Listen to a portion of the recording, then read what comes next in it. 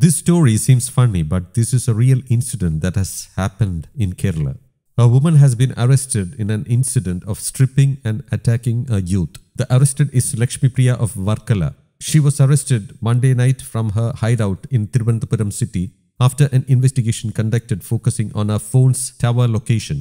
The police will register her arrest and move on with further steps.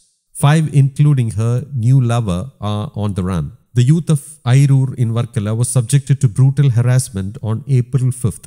He was in a relationship with Lakshmipriya of Cherunniyoor in Varkala. She later parted ways with him and found a new lover. She hired a quotation gang to avoid him. Lakshmipriya, along with her new lover and friend, reached the youth's house, called him outside, and took him in a car. The gang attacked him in the car and also threatened him at knife point. When the car reached Alappuzha, the driver got out, grabbed his chain, mobile, and rupees 5000 which he had in his hand. They also asked him to GPay rupees 3500. They attacked him again. They reached a house near Ernakulam bypass, gave him shock using the mobile charger. When he refused to drink beer they offered, they beat him on his head with the bottle. They stripped him and shot the pictures of it.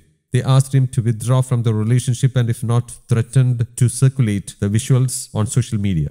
The team on the next day abandoned the youth at Vyttila bus stop and left the place. The youth who was lying on the side of the road was taken to Kochi Medical College by the police. The youth was later shifted to Venjaramoodu Gokulam Medical College after his relatives arrived.